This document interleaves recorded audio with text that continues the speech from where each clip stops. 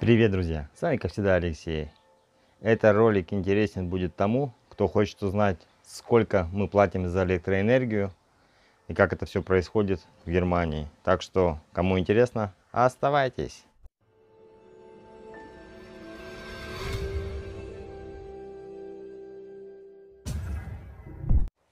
Значит так, в Германии очень много поставщиков электроэнергии.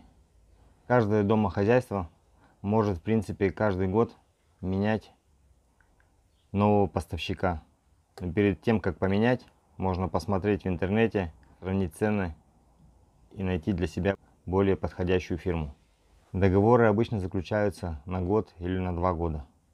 У меня в этом году кончается мой договор и приятно был удивлен, как сказать, приятно. Сейчас за свет я буду платить совсем другие деньги.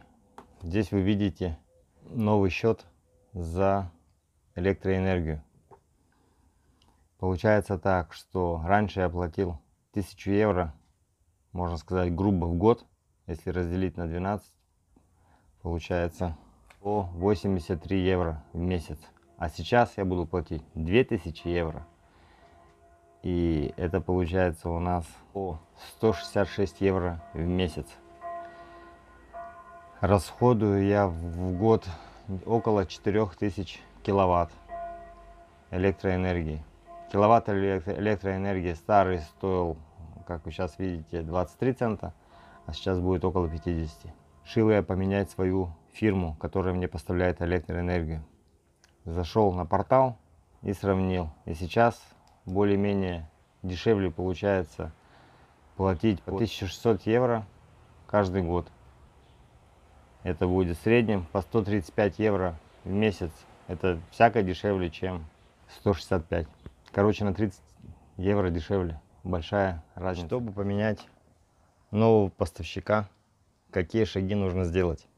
Во-первых, нужно написать, заполнить формуляр и послать его по почте своему старому поставщику и написать, что вы отказываетесь от его услуг. Это делает месяц до конца вашего договора, который был там на год прошлый. Пишите туда свои данные, номер счетчика электрического. Это вы сделали и заходите на новую фирму, которая, у которой будете покупать электричество. Все заполняете, там какого числа хотели бы вы получать эту электроэнергию. И все. И пошел у вас договор. Договоры, говорю, договоры есть на год и на два года. Во многих договоров, если у вас стоит фиксированная цена, за сколько вы покупаете электроэнергию, они не имеют права поднять эту цену. И что еще интересно, каждый год ты должен параметры счетчика отправлять в эту же фирму, и они делают перерасчет. Если вы, например, сэкономили, то, конечно, вам деньги обратно возвращают. А если вы больше нажгли электроэнергии, тогда вам придется, конечно, доплатить. Если ничего не менять, ничего не делать, и просто как у вас есть, например, на, в нашем городе есть главный поставщик, к которому все это относится, как монополист, можно сказать. Ну, хотя, если вы будете у него электричество покупать, то это вообще бы стоило около 200 евро в месяц я платил бы им. А так получается, сейчас я нашел за 135 в месяц. А если старый бы оставил, то было бы 165.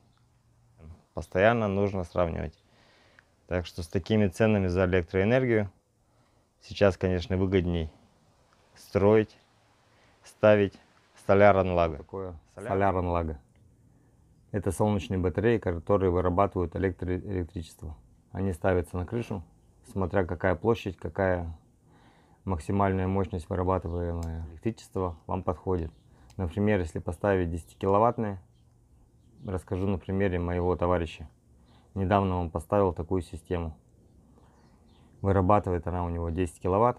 Солнце светит на панели, электричество преобразуется, приходит к вам, можно сказать, в подвал или куда там, куда у вас кабель расположен. Вы его можете аккумулировать стоят система, аккумуляторы, в них она накапливается, и потом, если у вас ночь, например, то вы можете эту электроэнергию как бы постоянно тратить. Если у вас все полное, батареи полные, вы немного тратите, то остаток электроэнергии вы продаете государству. Они у вас покупают по 6 центов за киловатт, а продают потом по 30, да? Ну, здорово. В общем, такая система, принципе, автономная, ее хватает на дом. Хорошо, когда солнечные батареи стоят на южной стороне дома, всегда больше на этом месте. И еще прикольно, если автомобиль электрический, и он у вас заряженный уже, вы можете электричество, например, когда вам не хватает его, брать, дом может брать электричество прямо от автомобиля. Получается переносная батарейка. Тоже отличная система, отличное решение. Стоимость такой системы около 20 тысяч евро.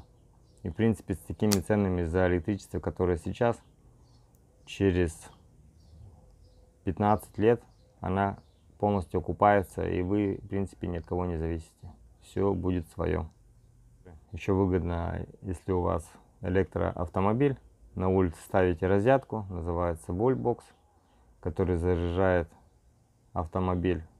Также дом можно будет отапливать кондиционерами, которые тоже работают от электричества, чтобы отказаться полностью от газа. И дом становится вообще автономный. Сейчас, конечно, начнется в комментариях в конце. А сколько денег уходит у вас примерно от зарплаты на обслуживание дома, на электричество, на еду и на все такое. Хочу вам сказать одно. Про свой доход, как я думаю, любой из вас, люди не стараются везде афишировать. Поэтому не надо дурацкие вопросы задавать. Отталкивайтесь от того, что в Германии люди по-разному зарабатывают, как и во всех странах. Примерно вы цены знаете, примерно зарплаты. Можно сказать в среднем, даже не в среднем, можно сказать минимально. Люди зарабатывают от 1300-1400 на руки. А там уже как повезет. Что? Без обид. Вот так, друзья, выглядит наша потребительская система по поводу электроэнергии. Напишите, сколько строит электричество в ваших странах, в ваших городах, сколько вы платите за это и сколько потребляете. Ну а с вами, как всегда, был Алексей. Кому было интересно, ставьте лайки, подписывайтесь на канал. А мы ждем следующего перерасчета за газ. Очень будет интересно, так как дом отапливается на газу, и вода горячая делается. Тоже от газа. Пока. Ставим лайки, подписываемся на канал. Удачи вам.